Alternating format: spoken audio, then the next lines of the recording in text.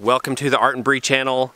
This is a day in the life of homestead cows.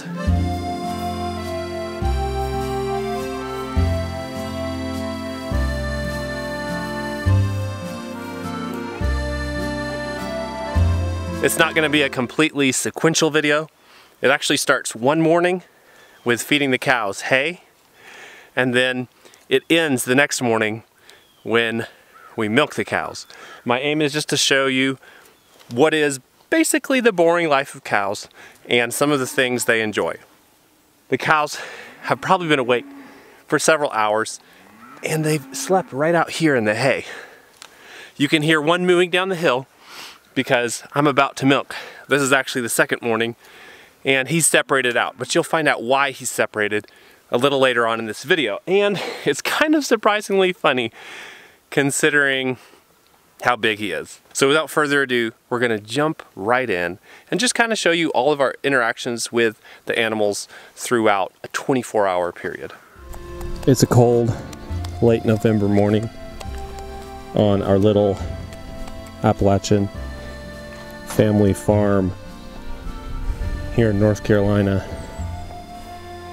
I want to show you something really cute. Uh, at least I think this is really cute.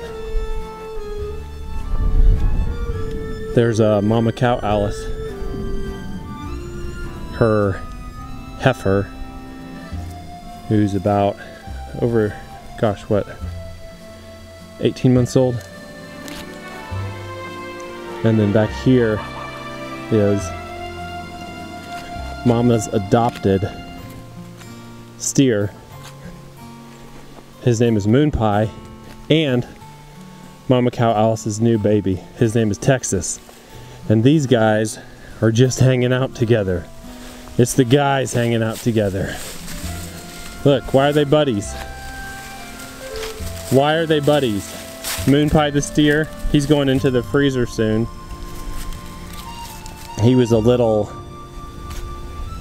dairy bull calf and dairies don't want bull calves because bull calves don't give milk and you only need one bull to breed a huge number of cows on a dairy.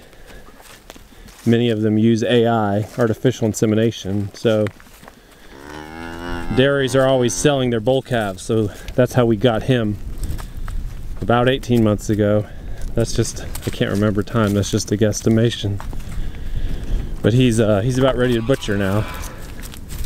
But he's buddies.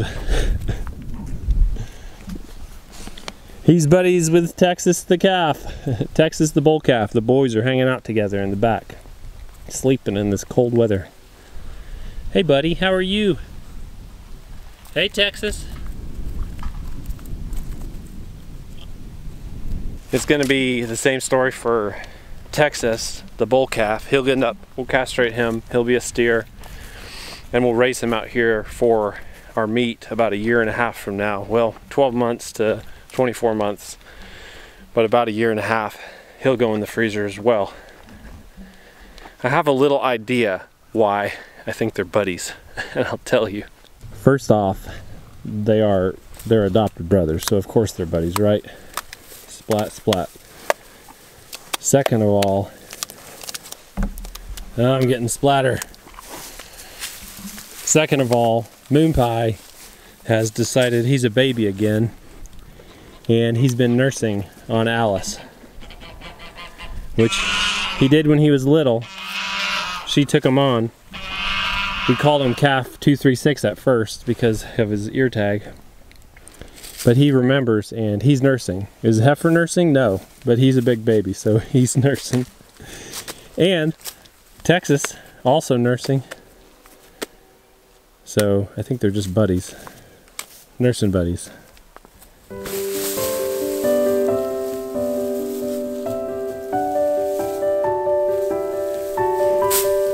You remember what it's like, don't you? he saw us milking her one day and he just jumped right on. Kind of funny. He's taller than her by about six inches. You know, the first thing I thought when I saw him nursing was, he's gonna steal all the milk. And well, that's true. it's, there's a simple solution to that, and that is when we're gonna milk, we just separate him and the calf for about 12 hours. And then there's milk for us. My next concern though, and we, we asked around about it, kind of two concerns. Number one is that Texas, the bull calf, he's he's in a critical period in his life. He needs to get milk, he needs to grow. And so the question is, would he get enough? So far, he's gotten enough. He's rowdy, he's growing, he's active. Um, we see him nursing. But the other concern was that the steer would tear up her teats because of how big he is, how big his teeth are, uh, how aggressive he can be, but also just the angle he's nursing from really high. And so far, we've checked him every day. So far, that's not been a problem. So it's been kind of this blessing in disguise because what it means is in this time in our life, we have twins. You know, they got out of the NICU, what, eight weeks ago, and it's just been insane. We actually don't have to show up every day and milk because her udder stays floppy, stays loose, um, because that steer, he's doing us a huge favor, honestly, drinking milk. Um, but don't, that won't last too long. We're, he's gonna go in uh, January. He'll end up in the freezer. I'm feeding these cows hay all across the pasture and I'm working my way up. Trying to feed them real high now. The higher you feed them in the pasture, the higher their manure ends up.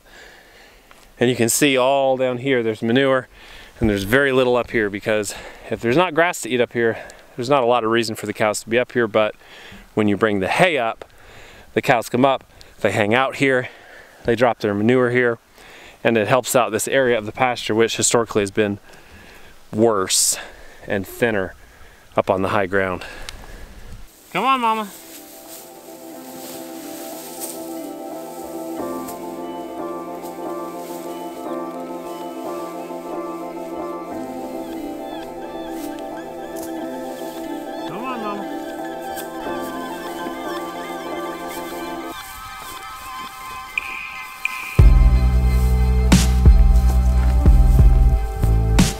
Little Texas really isn't eating much hay, but he does like to play with it. And he likes to butt it. It's something, it's entertaining for him. Yeah. And mommy is just enjoying the sun. Good girl. You're a good cow. As cows go.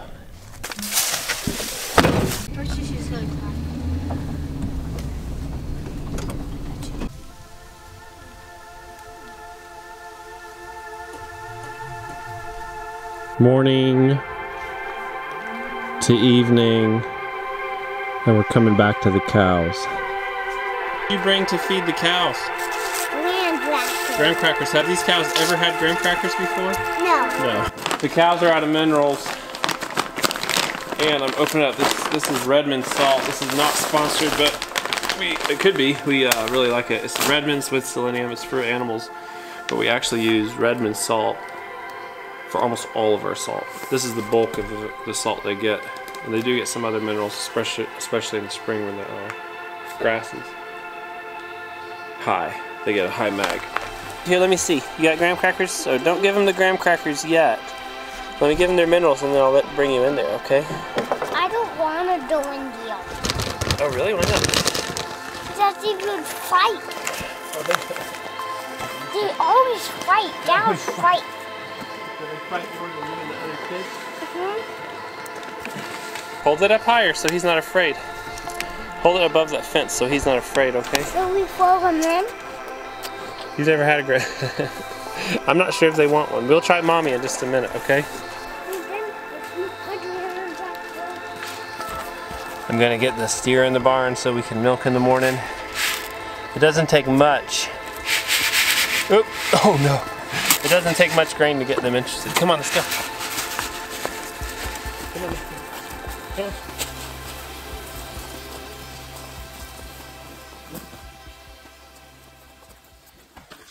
Just three handfuls of grain is motivation enough for those cows. Uh, just put the steer in the barn only.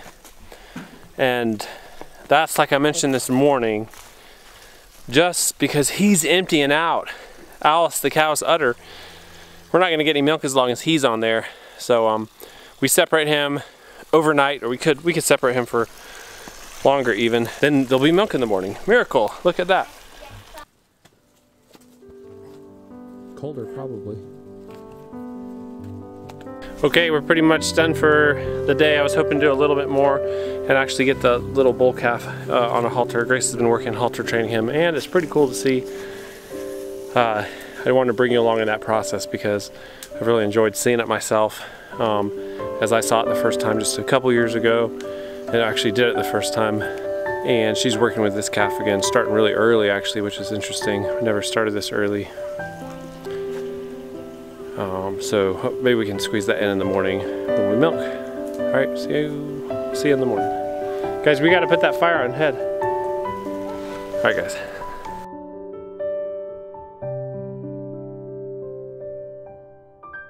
Okay, so it's the next morning and um, we're here back where this video started actually. Um, and guess what? Moon Pie, the steer, he's in the barn. He's not happy We've done this before.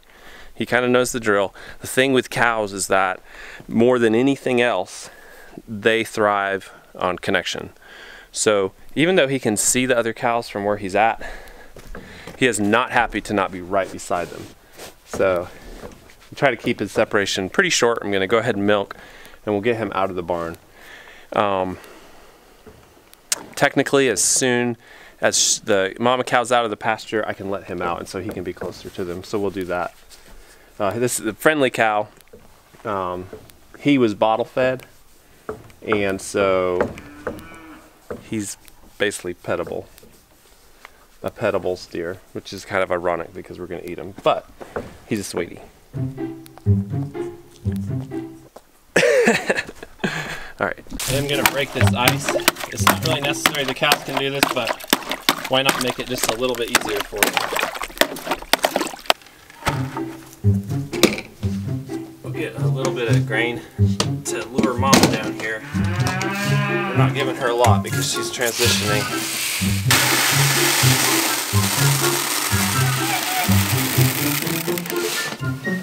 Just a little bit, out where the cows will get. I want to actually um, halter continue halter training this little bull calf, Texas, this morning. And last night I asked my kids, I was like, hey, where's the halter for the cow? I was going to do this last night. Guess where they told me? It's right there.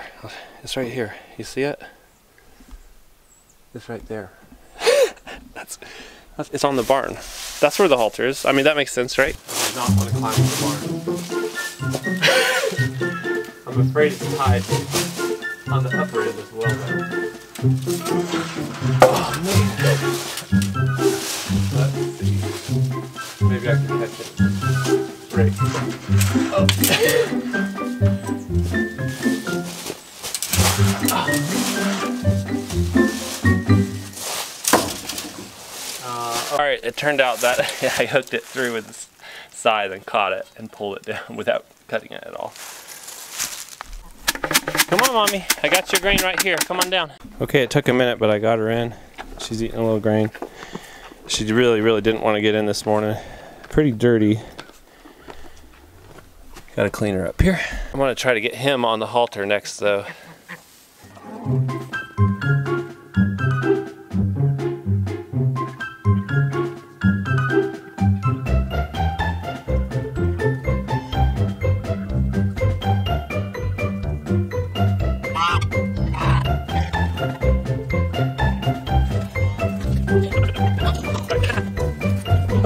Put me on my butt out there. That's okay. I may catch him when he comes out to his mom while I'm milking. We'll just brush her down really good. Less hair in your milk. If you like hair in your milk and manure, just don't brush your cow.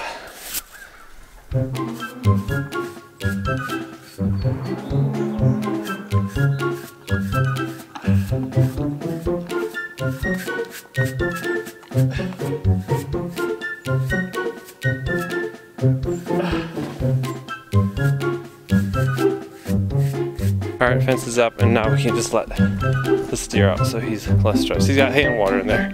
He just wants to be with the others. Come on, Biggin. All right, give me just a little more because you're a good girl. The funny thing about the calf and me not being able to catch it this morning, well, and the, the bull calf winning, I really wanted that in this video. The funny thing about it though is that my daughter Grace is the calf charmer. Now other kids can do it too, but uh, she's just super good at it. Wow, girl. She's dirty because I think she slept in the barn. I thought she slept out in the pasture. I need to make it so she can't get in the this back barn back here at all. I thought you'd slept in the pasture, girl. Normally they sleep in the pasture, but if we leave a stall open or something, they will sometimes sneak in there.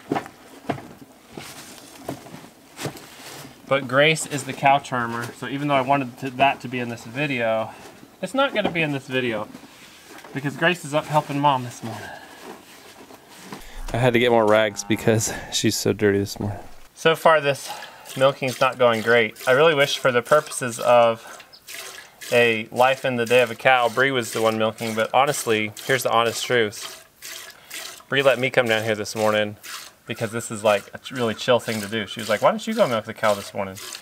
So even though there's a little bit of stress involved in the cow kicking over the bucket and potentially not getting milk. I'm to try to avoid that. I'm just milking with one hand now because she's so impatient, so I can get that bucket out of the way quickly. Um, potentially there's a little stress there. Overall, coming down here first thing in the morning and just hanging out with the cows is a really nice thing to do. But Bri's better at all of this. Bri, my wife, she's better at all of this. All right. and part of the reason the cows is misbehaving is because it's me, um, because I'm so slow. It took me a long, it took me longer to get set up and longer to clean her. I had to run up to the house to get rags because she was so dirty. My goal has just been to get a gallon this whole time, and she just kicked a bunch. So, all right, let's go, girly. But that uh, that little calf actually emptied out a lot last night, so.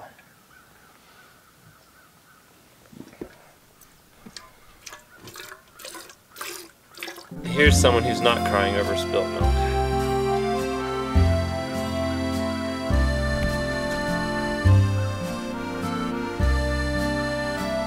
Okay, barely got a tiny bit of milk because I milked and milked and she kicked over the bucket. That's just something that happens sometimes.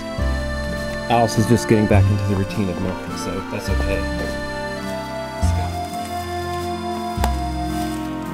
Well guys, that's a day in the life of the Homestead cow. I didn't capture everything I wanted to, but when it comes down to it, I see that from the cow's perspective, we're just kind of an inconvenience. You know, cow doesn't want to be halter trained. The cow doesn't really want to get in the milking stand. They will, and they can learn uh, to get in a routine of getting milked. And Alice is a great cow and she will get into the routine better and become more patient, uh, thus hopefully not kicking the bucket. But what's the life of a cow? It's honestly eating, laying down resting, drinking water, and laying in the shade in the sun, depending on the temperature. It's really, I think, a serene life. And one of the reasons I love cows so much is they're very calm. They love social interaction they thrive with other cows. They're pretty amazing animals to keep. Extremely easy animals to keep, honestly, as animals go. I would say they require a similar amount of care as uh, many smaller animals, chickens, rabbits, and they provide a huge amount of um, abundance for our farm in the form of meat and on most days that we milk, milk. Um, Thanks for joining us. We'll see you in a video soon. All right. Bye-bye.